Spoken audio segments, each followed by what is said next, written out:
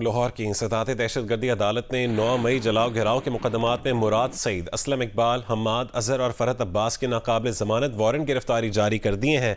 वासिक क्यूम, जुबैर न्याजी और हामिद रजा गिलानी के भी नाकबिल जमानत वारंट गिरफ्तारी जारी किए गए हैं।